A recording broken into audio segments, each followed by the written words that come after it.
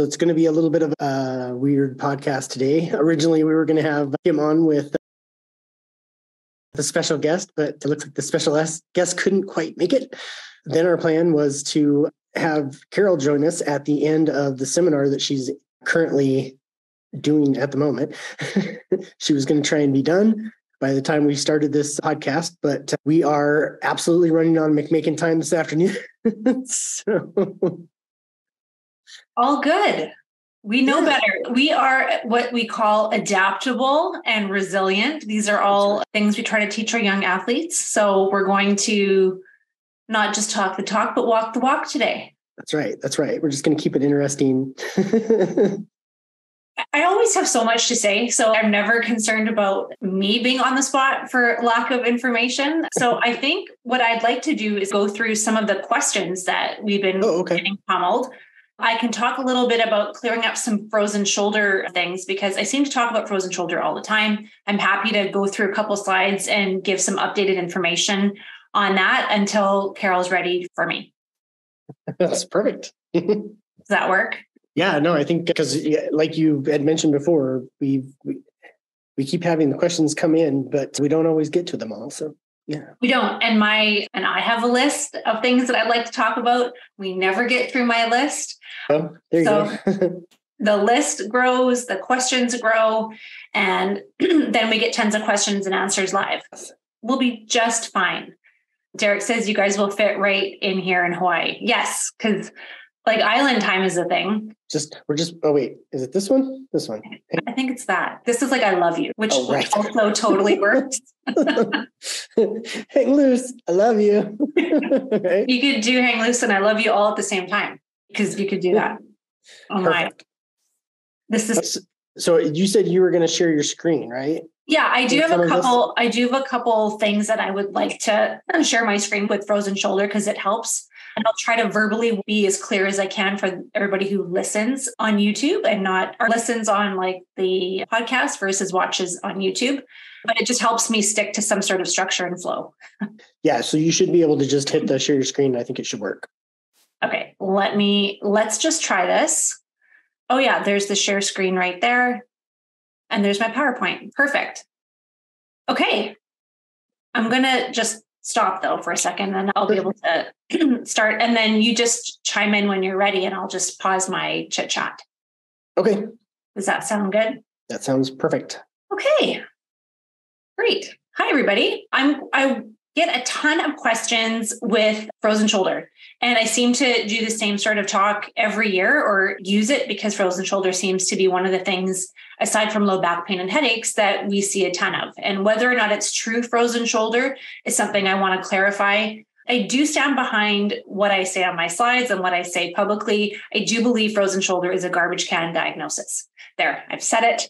I'm recorded saying it live. I just think we're really quick to say, oh, it's frozen shoulder when people come in with restricted mobility in their glenohumeral joint or their scapula. And what I really want to tie in on today is that the two have to be addressed simultaneously. They both work together, they can't function apart. So I want to drive that point across and then give you a little bit of update on some frequencies that I've been using and why since I started the frozen shoulder talk. That being said, I'm going to share my screen and just so we have a little bit of structure with what I want to talk about. And I will be as clear as I can for people who don't watch and just listen. So, like I said, hopefully you can see these slides. Let me know if you can't and throw it in the question and answer or the chat if you're not able to see this. I'm going to try to do this here properly slideshow from current slide. And let's just see if that works. Could somebody let me know on the Q&A or chat if you can see my slides okay, just for structure. And I'm going to go through this really quick. So somebody, some people are saying on the chat, looks good. Thanks, everybody. Appreciate it. Thanks, everybody. Great.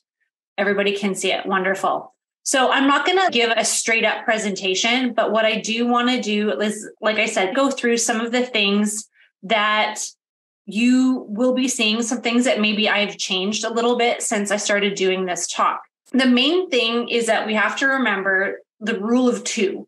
There are two joints, your glenohumeral joint and the scapulothoracic joint. Okay, so that's the first thing you need to remember here. There's two joints that are at play, and there's two types of frozen shoulder.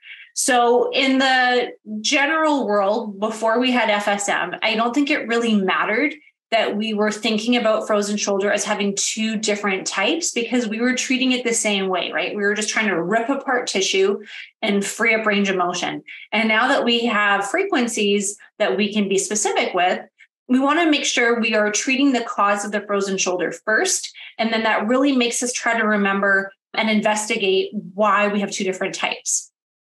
So the first type is what we call the primary frozen shoulder, which I think is a little bit opposite because most people don't know about these types of frozen shoulders that they have this type of onset.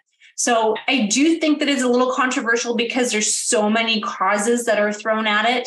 So things to things that could trigger primary or type 1 frozen shoulder are changes in the immune system, biochemical and hormonal imbalances, diseases like diabetes. People who have diabetes actually have a 3 time higher risk developing frozen shoulder syndrome. We also see cardiovascular neuro- neurological disorders contributing to frozen shoulder. And we have to remember that sometimes we have both shoulders being quote unquote frozen at the same time, or the left will start, and then very soon after, the right will start. Our secondary or type 2 frozen shoulder, that is what we typically think of as frozen shoulder. This is an acquired restriction of range of motion that happens from stiffness due to an injury, surgery, or any type of other prolonged period of immobilization, or, and I want to add, inactivity.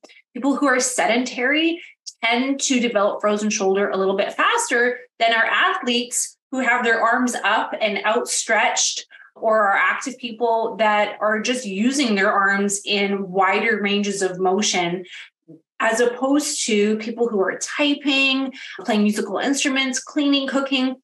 Let's just call it as it is. We're all stuck on our phones, right? Everything is anterior chain shortened because we're all flexed forward with our elbows and shoulder blades glued together. So that's our secondary type two. Of course, we have three stages freezing, frozen, and thawing. I'm not going to get into all of this. You need to know that in that freezing stage, that's when we have pain. Unfortunately, people don't tend to seek out treatment in that freezing stage when it's really easy or a lot easier to treat. This freezing stage can take anywhere from six weeks to nine months. So, as we all know, if something is restricted for nine months, there's definitely more and more scar tissue and adhesions building up during that time frame. The frozen stage, four to 12 months, that's typically when we start seeing more people, they're getting more frustrated. We're not seeing a real big increase in pain during this time, but what we are seeing is that restrictive range of motion. So that's what people are going to notice when they try to do those ADLs those activities of daily living or their sports because that's when they are becoming more and more limited. It's not the pain that's driving them to treatment, it's the restriction. They can't get the seat belt. They can't pull their arm behind them to fasten their bra if they're a woman. So there's there are these restricted ranges that they're going to start noticing are more and more frustrating. And then the thawing stage is when movement can actually become easier. So we do see it just starts to loosen up on its own. And when that happens, and I'll talk about why that happens in a little bit, but that could take anywhere from 12 months to three years. So some people will come to say, Oh, I had frozen shoulder a few years ago. I had it for a year. And I'll say, What did you do to help it? And they'll say, Nothing. It just got better. And it doesn't just leave without leaving behind some sort of footprint that it was there, just so everybody is clear on that. I love researching terms and especially things that have been around for a long time. And I came across this very cool book ages ago by Dr. Codman in 1934.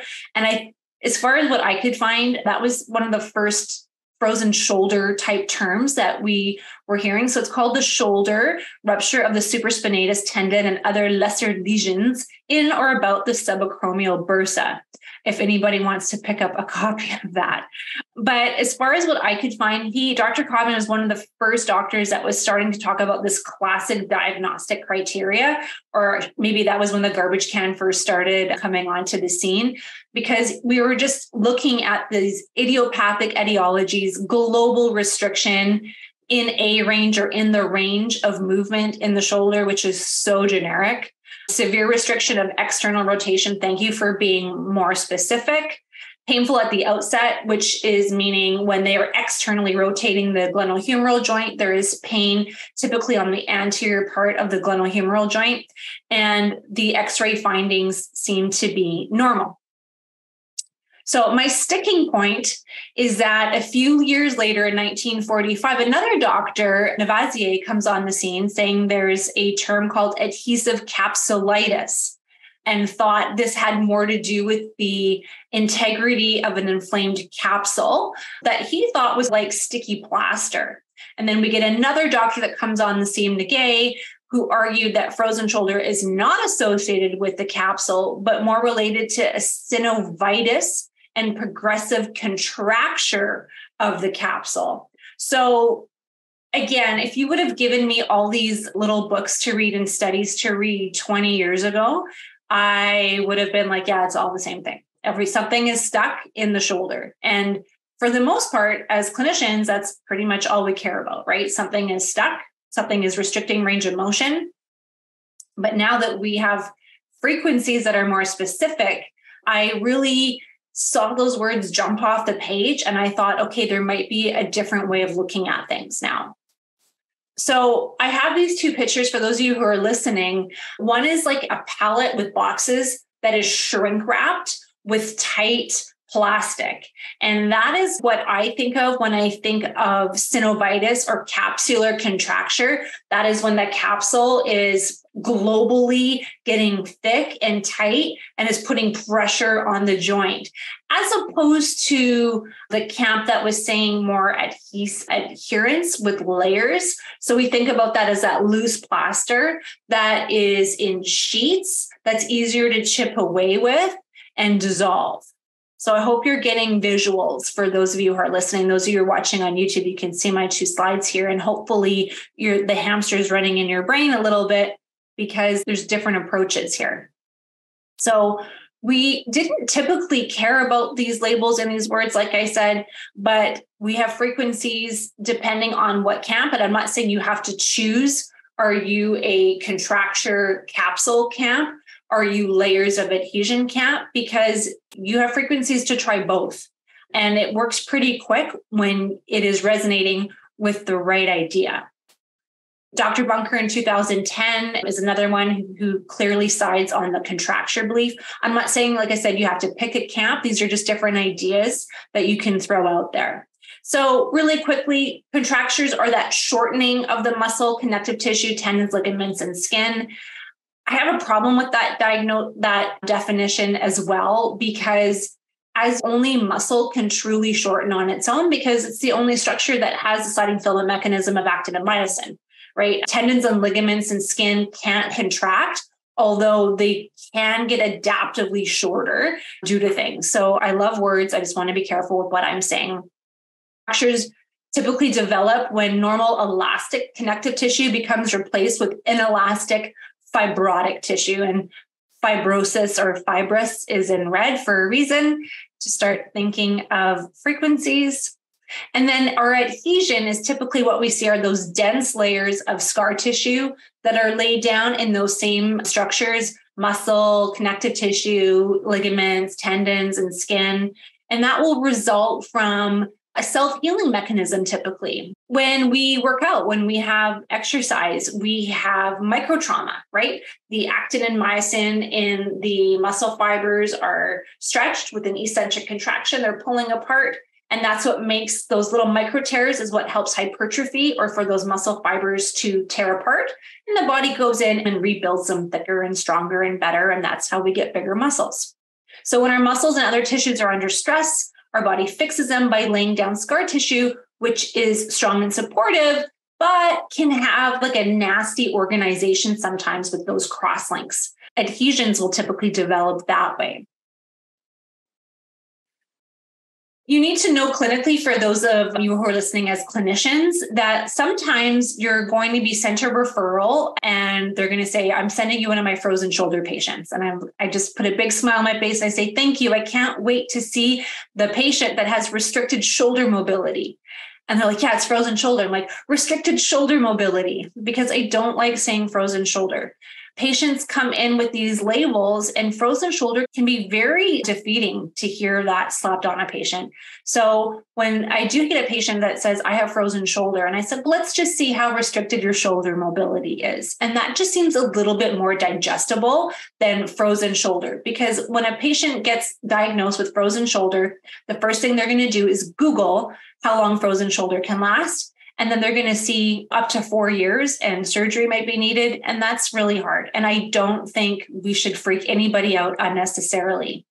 And for the patients that are listening, if you have been diagnosed with frozen shoulder, I do believe that some people are physicians and doctors and PTs and massage therapists. I think people are throwing that term around. And I don't want you to get defeated if you hear that because you have restricted shoulder mobility. And I think there's a lot of tools out there that can help. So there's my public service announcement on that again. A lot of times I'm seeing an old labral tear being frozen shoulder or a supraspinatus impingement being frozen shoulder. Sometimes it's just pec minor splinting. Pec minor is this really tiny, small chest muscle that when it shortens, it causes this anterior tilt off the shoulder blade. And that can cause restricted shoulder mobility. Sometimes we have neural weaknesses due to a host of other causes that poor rhythm to happen in the shoulder. So let's just not get caught up on, on labels and words. Those of you who are clinicians listening to the podcast or watching, sometimes you won't get the diagnosis that or the label that's coming in, but what you will hear is I can't sleep on my side. I can't reach and put my coat back on or fasten my bra or reach the seatbelt or wipe my bum. That was one that was not external rotation, but more internal rotation, but still downward rotation of the scapula. So I added that one on because it definitely was restricted shoulder mobility we need to really like with anything else that we do with FSM, we need to go back way back in that history and not just ask about their pain today and how long the onset is, like really go back because that will help decipher where you're going to start with your frequencies and your treatment strategy. So, like I said, back 20 years ago, I didn't care about what the onset was because I was just treating the tight shoulder that was in front of me. And yes, we do have to address that. But to really dial in, no pun intended, where we need to start, we need to ask those questions. I say disease versus musculoskeletal, but that's that type one onset versus type two onset. That primary type one or the disease component like I said, we're going to check the history for immune system problems, biomechanical imbalances, hormonal imbalances, diabetes, cardiovascular, neurological disorders. And then my big thing is somebody seeing infection, stress, and trauma. Why do we need to ask these questions, even if that's really not in your scope of practice to treat biomechanical or biochemical or hormonal imbalances, we have frequencies for the vagus, right? And that's what's happening when we have any of these infections, any of these stresses, or any of these traumas. Like I said, you will now have a little bit of a clearer path as to where do you want to start viral onset. Okay, maybe there was shingles, maybe there was something else at play. The emotional factors, the autoimmune frequencies that we can use. Diabetes, diabetics will have a history. The emotional factors, to just go back to that really quick, I have concussion on here, PTSD, some of the 970s. I can't tell you how interesting it was ah, 15 years ago when I was seeing a whole bunch of frozen shoulder patients when I was not using FSM or just getting into it and there was this group of women who were like empty nesters with F or with frozen shoulder. And I wish I could go back in time, like we all talk about, and say, okay, I have these frequencies. I know what's going on. The stress of everybody being gone and all your kids being out, and now you're left, and who knows what other kind of stresses were involved. So you might see like a chunk of a demographic that kind of fits this bottle. And Dr. McMakin always talks about pattern recognition. So sometimes I'll go back in that way and say, what else was going on in your life? Even if I'm pretty sure it had to do with a injury, like what we're talking about here, there could also be another component at play and that's especially true when you think you have a type 1 or a type 2 frozen shoulder and then the lines are blurred. So maybe the patient is pretty sure, yes, I stopped moving my shoulder when I had this car accident or I fell off a mountain or I ran into a tree skiing. And then you start talking about them and say, "Oh yeah, but I was also going through a divorce." and my child just got diagnosed with ADHD and we don't know what's going on, blah, blah, blah. So ask those questions. Like I said, we want to confirm if it's frozen shoulder or just the silly little muscle imbalance that might be really easy to fix. We rely on the intake and the history, but we also have to rely on our own assessment. So I hope everybody is still doing their assessment, even though patients are coming in with, oh, I'm restricted in this and this. You need to make sure you're seeing it for your own eyes and charting it because that's how we know the frequencies are working is when a patient comes in and they can only abduct 20 degrees and when they leave they're 180 degrees or 90 degrees or whatever degrees so make sure we're charting range of motion as much as possible like I said, we have two different joints when we're talking about anything to do with the shoulder. That is the glenohumeral joint, which is how the humerus articulates in the fossa, right? That is what people will typically think of as the shoulder. They will point to their shoulder bone and say, My frozen shoulder hurts and it hurts right here. And they'll point to the deltoid attachment or the bicipital groove. They'll point to the supraspinatus or the anterior delt. They'll point to the anterior lateral part of the shoulder typically, but I will always stand behind them and see what's going on at the scapula first. So, the more important joint, in my opinion, is the scapulothoracic articulation. That is how the scapula or your shoulder blade articulates on your rib cage. And when you move your shoulders up and down, like I am doing right now, those of you listening, I'm just looking like a chicken. I'm just abducting my elbows, lifting my elbows up towards the ceiling.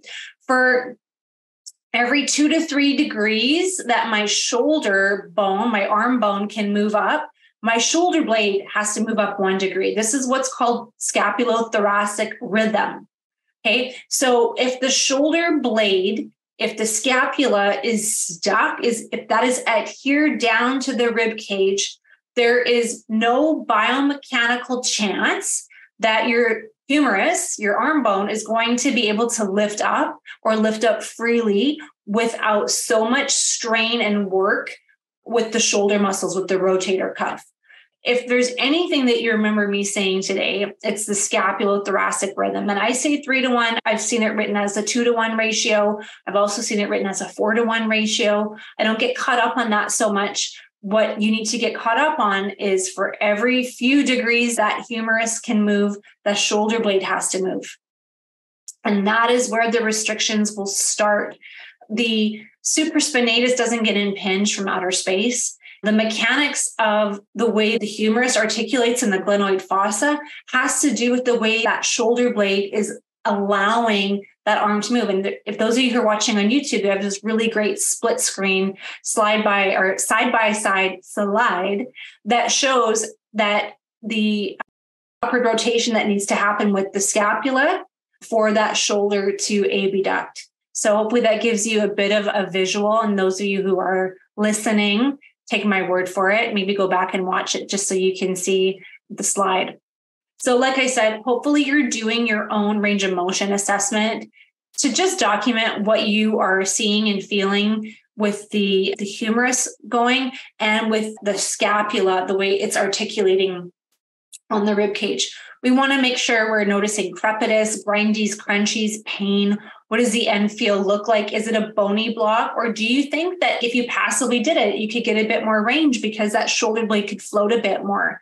I like to stand behind the patient because I can monitor what's happening with the arm, with the GH joint, And I can monitor what's happening with the scapula. So a lot of times I'll just stand with my hands really close to their scapulas just so I can see are their scapulas upwardly rotating nice.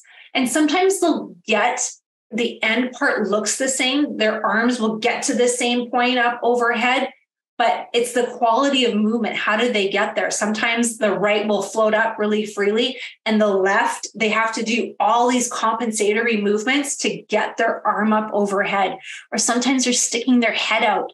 So do 360 when you're evaluating these patients because you what from the front may be a little bit different than what at the back again, going into these three stages, if you are a patient that's in pain and you are seeking help during this freezing stage, I'm hoping that your therapist is saying, I have to get your pain down. And if you are the therapist, I hope you're thinking, I have to get their pain down. Yes, they're going to be restricted and you're going to want to dig in there, but the pain has to come down first. The pain doesn't come down. If I'm a patient and I'm paying somebody money and I'm taking time out of my day, I want to leave with a reduction in pain. And if you're a therapist, you want to have that patient's pain level down, A, because you're a wonderful person that cares so much about your patients. But B, when a patient isn't in pain, the tissue just relaxes, right? Like you're able to get in so much more freely when there's not splinting or guarding, and the patient is relaxed and you can just sink into the tissue. So, public enemy number one during freezing stage is getting the pain down. So, usually in my world, that means treating the nerve for inflammation or scarring, right? 40 or 13 on 396 for the nerve. And then you're also thinking about what the nervous system is doing. Could that mean running concussion or the emotional frequencies? Maybe you need something big like PTSD. Maybe 40 and 89 needs to be running. So something on the background to help the pain and during that freezing stage. Frozen stage, same thing. We need to work on keeping the pain down, but now we can really have fun with mobility focus on freeing up the range of motion a bit more, removing that pathology. Is it scarring? Is it 13? Is it fibrosis? Is it 51? We can get in a little bit more aggressively that way. And then thawing, hopefully the pain is still staying down, the range of motion is freeing up. But one of the big components during that thawing stage is the repatterning that has to happen. I don't know about you, but if I haven't moved my arm in a year or two or longer, I'm probably not bouncing back with strength and good function the way I was before it was frozen. So I think we need to really focus on making sure that the range of motion stays strong and that there hasn't been a lot of compensation that took place that you may need to go back in and figure out how abduction needs to work. Sometimes that means learning how to throw a ball differently or doing overhead work differently. So there's a lot you can do by increasing the range of motion by using 81 and 49, increasing the secretions and the vitality to the area, and using that with appropriate exercise. So these are just all your A channels. We'll have all this stuff for you guys to look at. I'm not going to ramble them on and on, but removing the pathology, right? So thinking about virus, infection, parasite. I like to use the basics. There's also malignant virus, general toxins, organic toxins, Lyme, mold. Dr. Sosnowski could be so proud of me for throwing those two in there. And so that would be my starting point. If I knew I had a patient whose onset talked about all of these areas as I was treating the tissue, I'm very hands on all the time. So even when I'm doing all my manual therapy treatments, I'm still not letting them sit and with these frequencies. I'm seeing what the tissue is doing underneath my hands. And then in that second type, again, thinking about the basics trauma, paralysis, and allergy, the frozen shoulder came from somewhere. There is something that triggered this. So I do start with the basics all the time. And then if we're thinking it's that fibrotic area, so that capsule is like tightening and getting short, and I'm thinking about 51 in the capsule. If I'm thinking it's more adhesions, I'm going to start with 13. After a certain amount of time, it's probably getting hard. So I'm going to use 91. Mineral deposits, how long has it been there? So you have lots of options.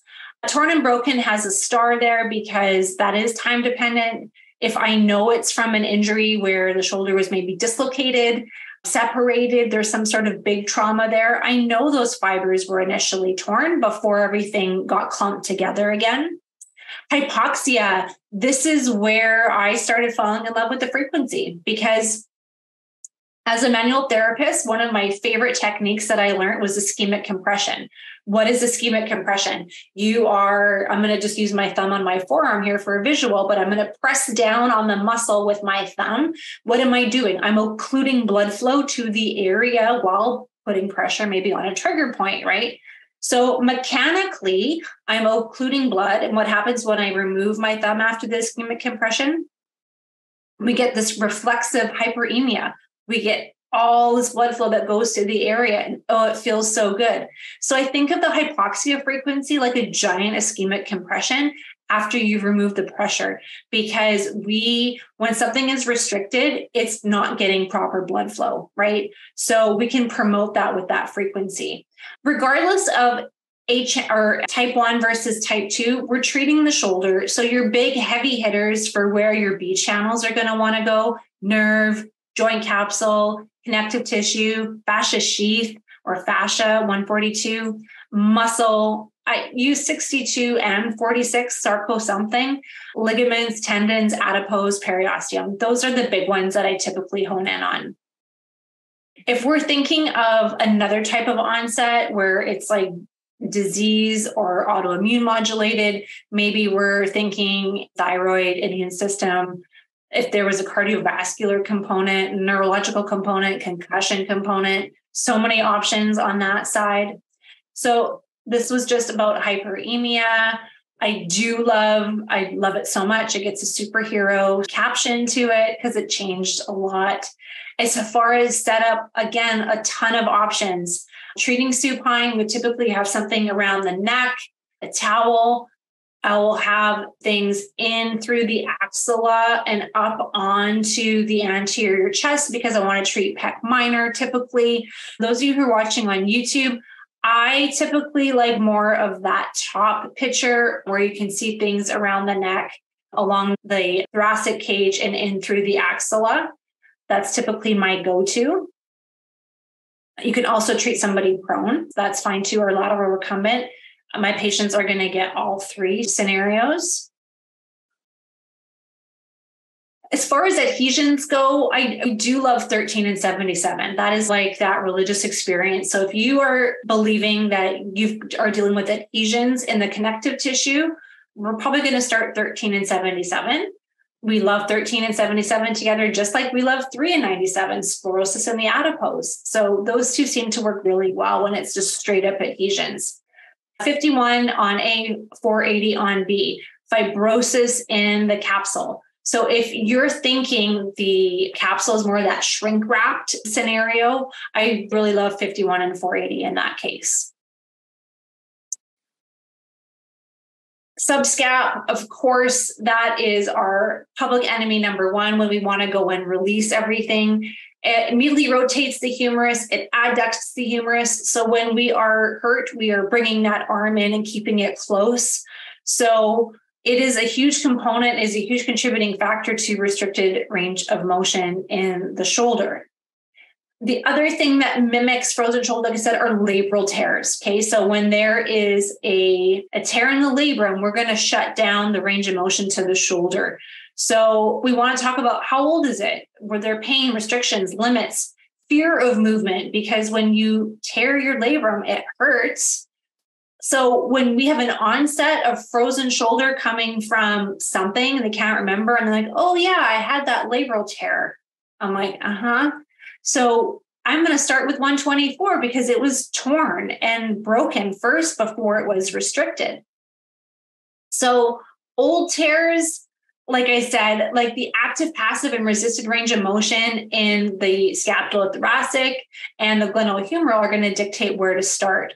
So compromised glenohumeral range of motion will translate into that adhered, restricted scapulothoracic range of motion, which further impedes glenohumeral range of motion. So we start this like loop of who's on first, who's on second, and they're both feeding each other. So we really want to get in and treat the subscap, the serratus, all those muscles deep within the axilla. On that new sort of side, Bankart lesions affect the glenoid fossa on the scapular side. Hill-Sachs lesions result in damage to the head of the humerus. Those of you who have treated folks that have had shoulder dislocations, you might see both of these in a single injury. And when you have an acute dislocation, you're going to get immediate shutdown to the scapulothoracic function, right? They are going to want to keep that arm tight and close.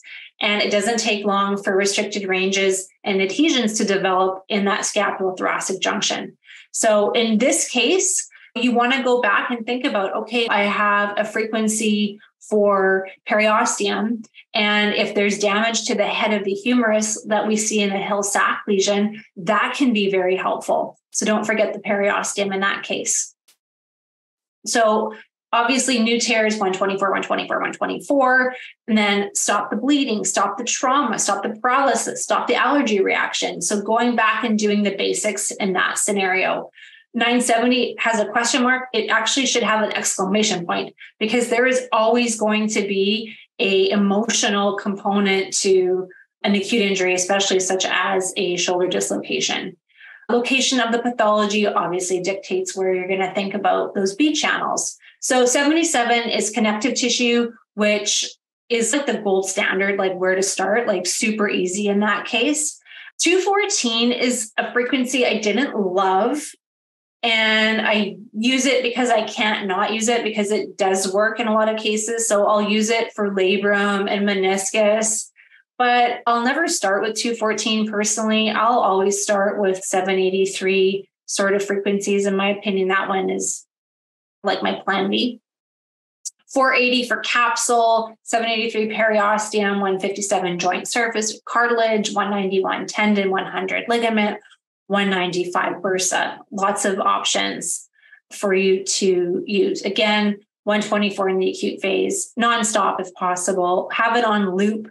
That just means having it on loop, in my opinion, is I would prefer to make shorter programs. The patient can put start and stop as opposed to building a three hour program.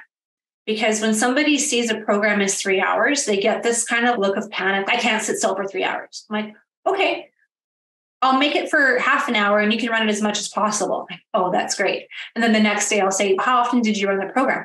Oh, I had it on for four or five hours. I'm like, Oh, that's fantastic. So, in my opinion, building smaller programs is a little bit more beneficial for patient compliance and adherence.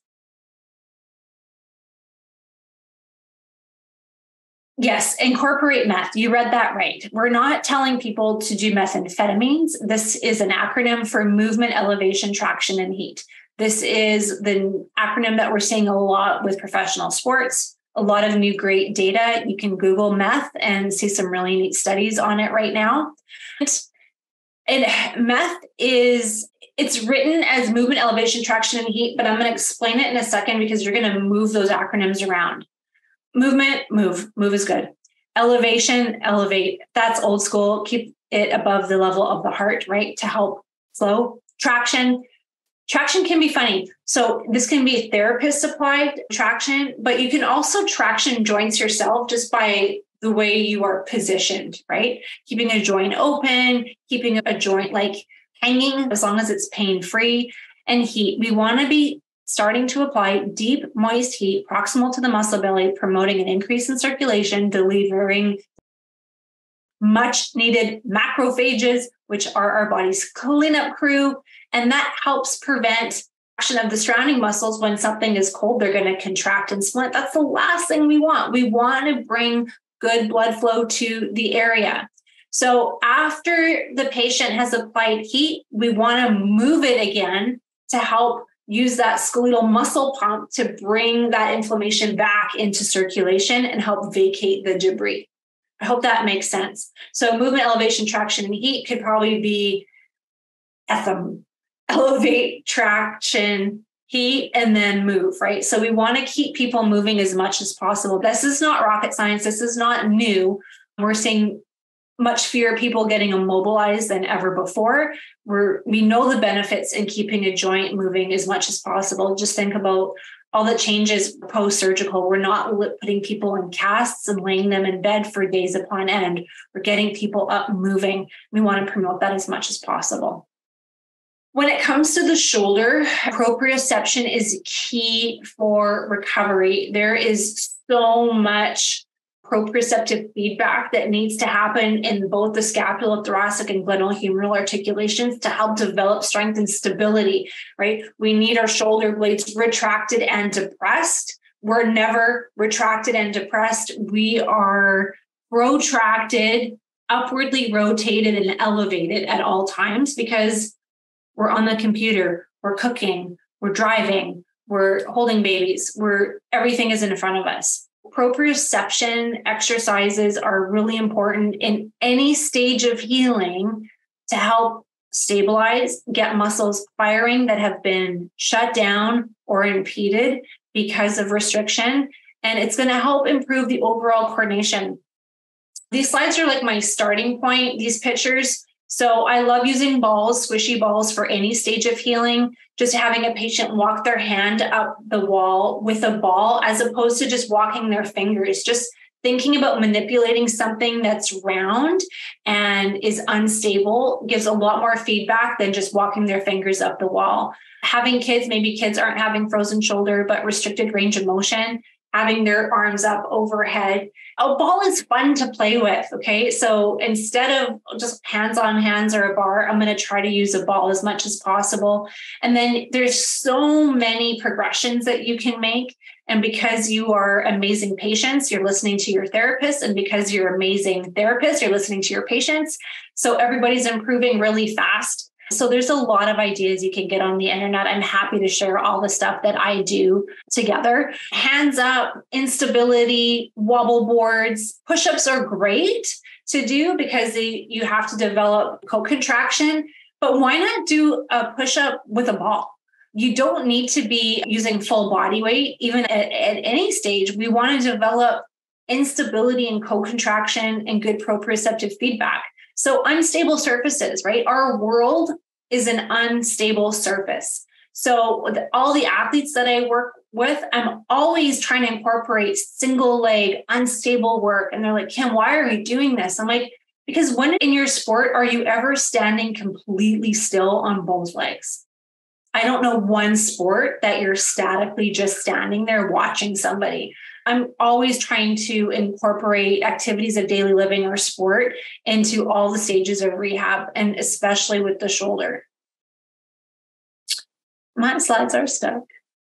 All right. So here are some other pictures of just some of the athletes that I work with using unstable surfaces. So whether it's a, a shoulder separation, an AC fracture, clavicle fracture, even lower body stuff, but since this is a shoulder talk, oh, Carol is back. Hello, you're muted. I'm going to stop sharing because I was almost at the Sorry, end, I'm... anyways.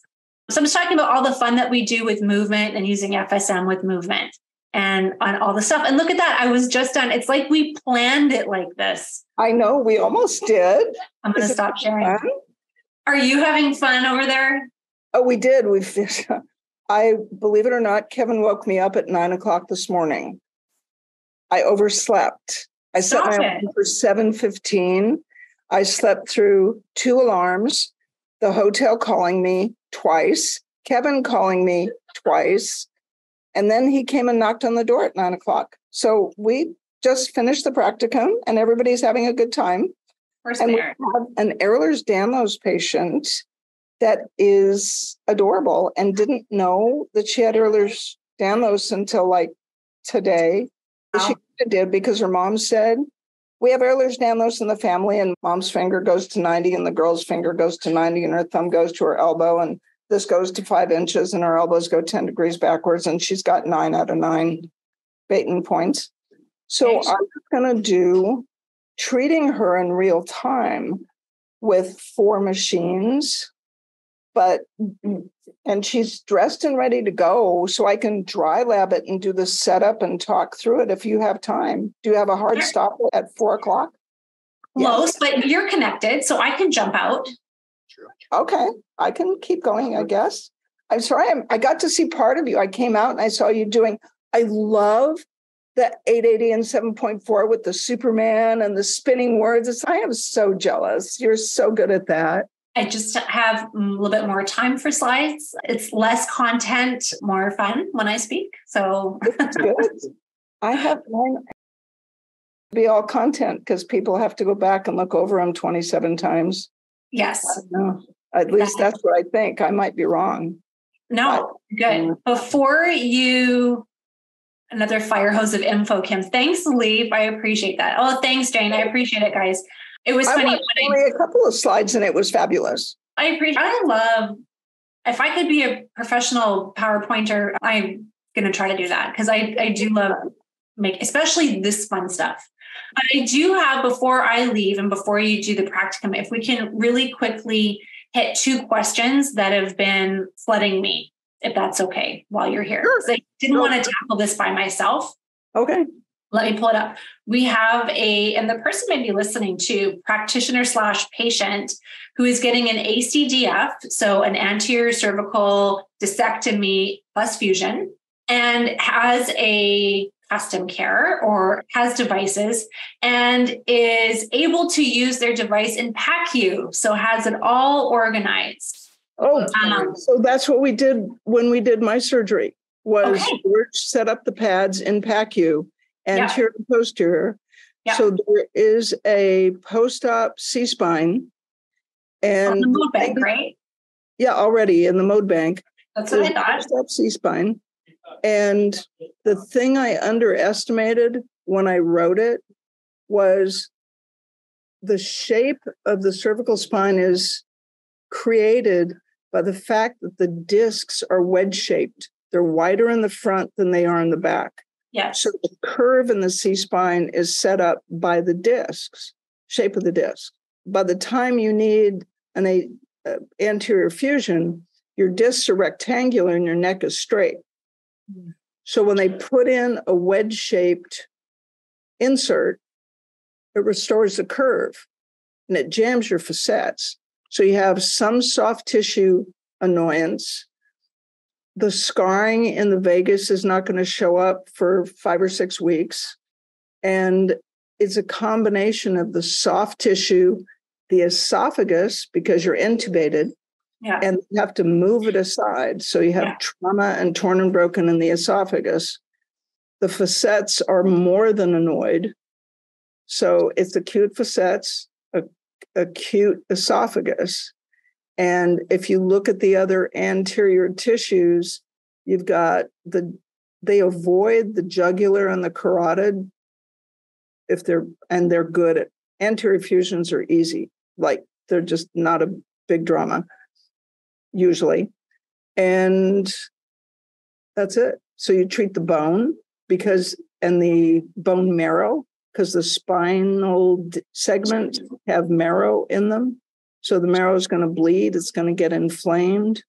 Most of the implants now are titanium. If she negotiated FSM with her surgeon, I'm going to guess she negotiated titanium with him.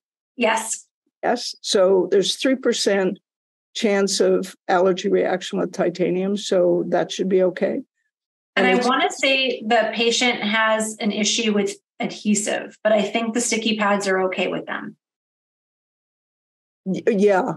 The, we have hypoallergenic, our two by two sticky pads are hypoallergenic. That's what I thought. Okay. They're carbon based, not fabric based. So they tend to do better. Yeah. Yeah. Perfect. And then the next question is you got this one also from Kevin. I thought since we're doing a little bit of neck work, we would throw it in today. There's a next, spe- I'm going to quote the question. There's a neck specialist who promotes prolotherapy for tightening C1, C2 ligament laxity, the kind exacerbated by looking down at devices. Just wondering. Wait, wait, the time that's exacerbated by what? Looking down at devices. Wait, he wants to do prolotherapy at C, the occiput C1 and C2? I'm just reading the question. Yes. Okay. It just says okay. It's not okay. my diagnosis. I, I know. Emailed in, so I don't think emailed yes, in. Yeah, yeah. Kevin sent it. I thought this would be good for the next segment. The question is wondering about your thoughts on this versus FSM versus physical therapy slash changing habits.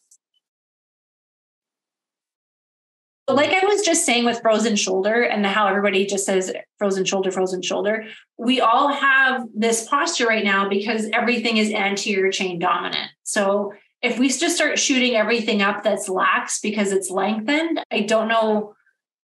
I think we're shooting everything up on the posterior chain then because. Yeah, there's a problem with the upper cervical spine that is not a problem with the shoulder, and that is the medulla and the brainstem.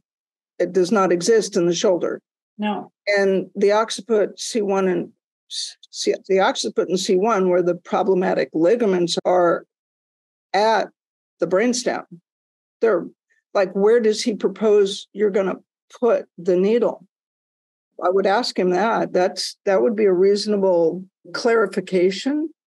So getting anybody to even consider surgery or any you can't prolo C1, C2. You just can't because the goo you put in there to create scar tissue, you haven't got any place except maybe the dura, if you're lucky, to keep it where you want it. It's like the brainstem is literally a millimeter or two millimeters away from the alar and posterior C spine ligaments. That's a thing.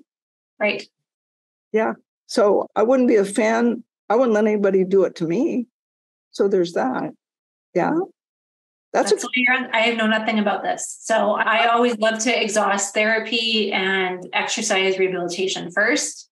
And then when that doesn't work, then maybe. But if somebody positionally has ligature laxity from just all work being like in front of a screen or being down mm-hmm. on a mm-hmm. device. How about we try exercises first?